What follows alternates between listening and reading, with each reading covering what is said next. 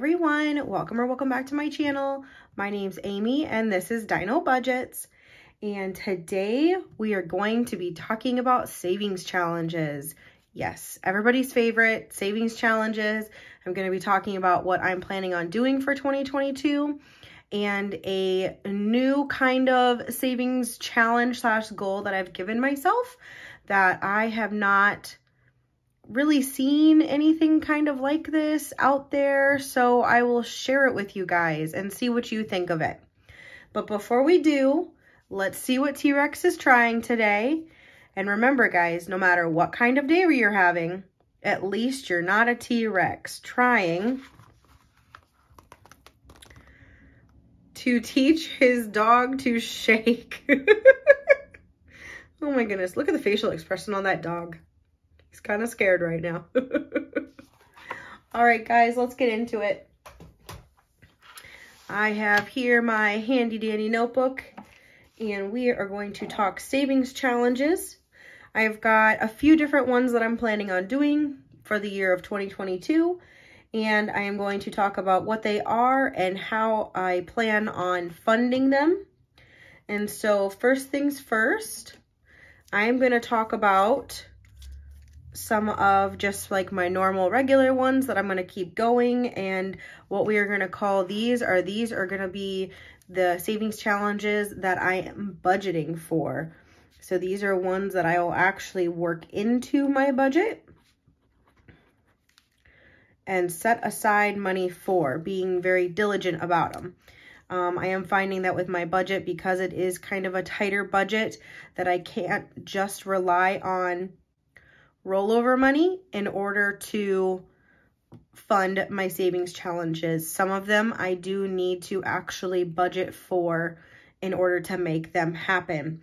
And so this year we are going to be doing the 100 envelope challenge. I am going to make that a priority for myself. And my 100 envelope challenge is just a little bit different. I am doing larger amounts on my envelopes. I have so many of them that are $20 each, so many that are 50 each, and so many that are 100 each. So once my 100 envelope challenge is completed, it is almost 500, or 500. I wish, 500,000, that'd be amazing. No, it's almost $5,000, um, just shy a little bit. And so that one I will be having to budget for. And then we have special event type ones. So I have a Valentine's that I have already started and I will continue doing that one. We have a Valentine's Day challenge slash birthday challenges to save up for birthday parties and then any other um I do have a luxury challenge that will probably be budgeted in when I can. It won't be a high priority one, but it'll be a goal.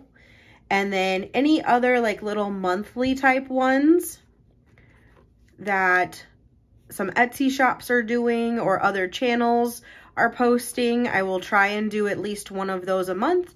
And I am going to try and save those up for either like three to six months or even an entire year if possible and then see how much I have saved in, in that amount of time just from those. And then my other ones are going to kind of be like my a variable other style. They're like non-budgeted. And so let's go ahead and see what those are going to be for this year. All right, so something I have been doing and will continue to do because it has added up quite nicely for me and it's not something I have to budget for is the zero out challenge. Now, if you guys have not done the zero out challenge before, it is super simple. I'm going to give you an example here.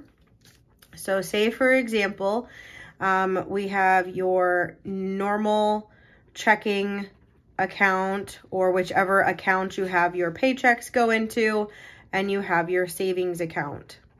All right. So say you get paid and your total was $565.49 was your pay that got deposited So what you're going to do is you're going to round out the last three digits. So for this example, you are going to be subtracting $5.49 and transferring that over to your savings account. Um, 49, not 94. Leaving you with a balance of $560 to be able to budget with from your checking. And let's go ahead and rewrite this because it's a little messy over here.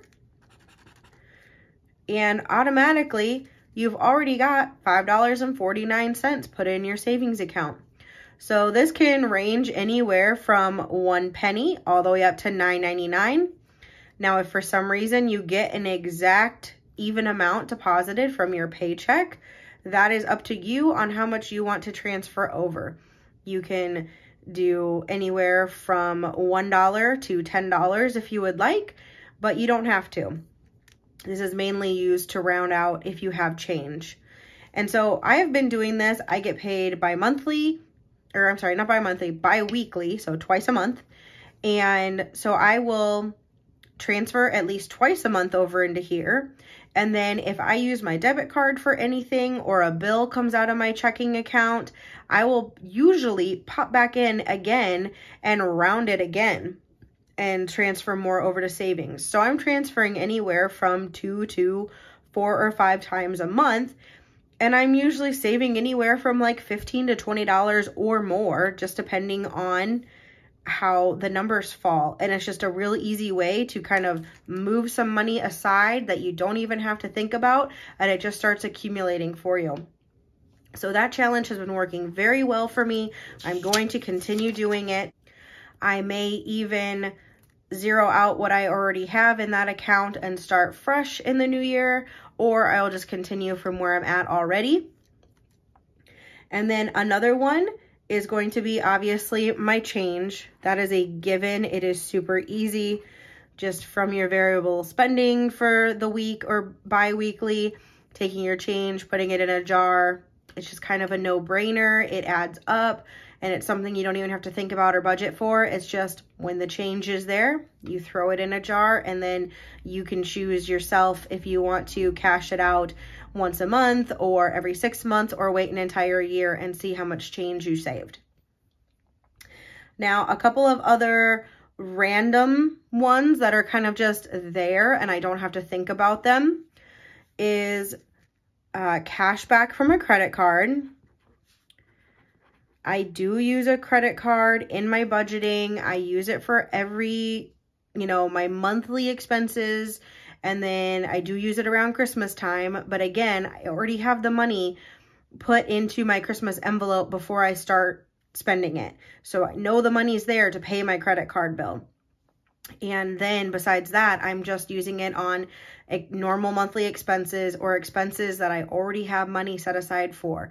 So the cash back, while it may not be a lot, is still free money that I'm getting back. So this coming year, I am going to track that to see how much that adds up to because I'm curious. And then another one is cash back from Ibotta. That is a grocery app. I don't use it a ton just because I find that myself, I end up buying groceries just because they have a cash rebate on them and they may not necessarily be something I need or fits within my dietary style. So I usually try to use this app only if there is something specific that I know I need or something that fits into my specific dietary style and I will get the cash back from that. If you have not checked out the app, I will post my referral code down below with a link and that can get you started to looking into that app. Now, my final one, guys, I am super excited about, and this is the new one that I am challenging myself to, and I would challenge anybody else who is interested, but I am calling this the 10% challenge. A lot of people will just like use their budget by whole percentages. Like, okay, I want so much going to savings, so much going to bills, so much going to spending. Now, what I am calling my 10% challenge applies only to my variable spending. So this is the money that I have in my wallet. So I've done up a little example here of what some variable spending could be for me for a two week period. And so what we do is I have in my wallet, I keep grocery money, household money, gas money, eat out, car wash money, and coffee money. I do also keep tips, but I am not including tips in this because I do not believe I need to be shorting my tips just because I want to save money. I still want to give people um, good, generous tips. And so I am going to write my budget as normal. And then when I go to stuff my envelopes, I am automatically going to take 10% from each of these. So for example, with this layout that I have, if this were my budget for the next two weeks, I'd automatically be taking $10 from groceries, a dollar from my household, $10 from gas, $6 from eating out, $2 from car washes, and a dollar from coffee. And this should add up to 30 if I did my math correctly. So we have 10, 20, 21, 27, 29, and 30. So automatically, guys, before I've even started spending or using my variable money for the next two weeks, I have put aside $30. Okay, so I am going to put that in a completely separate envelope. And then that will be, I'll kind of keep track on what my 10% challenge is and how that is adding up.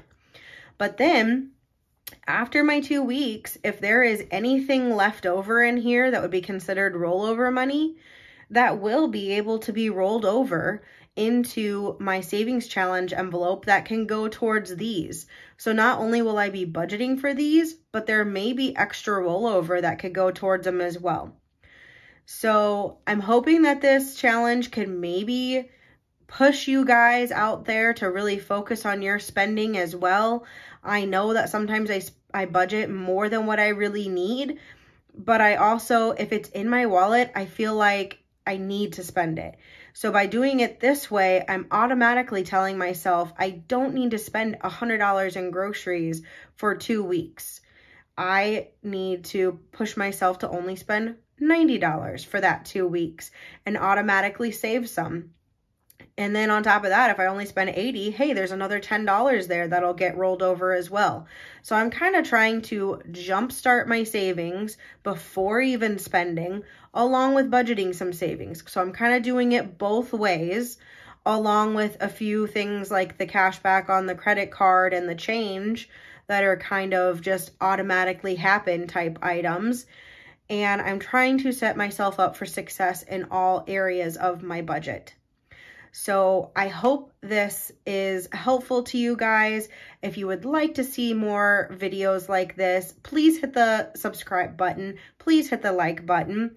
Go ahead and hit the notification um, bell next to subscribe. That way you know when I upload a new video. And leave me a comment down below. Let me know what you think of this 10% challenge. And let me know what other challenges you guys are planning on doing in 2022. I would love to connect with you and find out more. I hope you guys have an amazing night. And until next time, bye.